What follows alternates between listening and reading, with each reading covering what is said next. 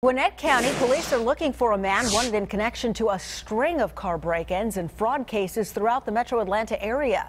Authorities tell Fox 5 he broke into several cars and used the victim's credit cards to buy gift cards at local stores.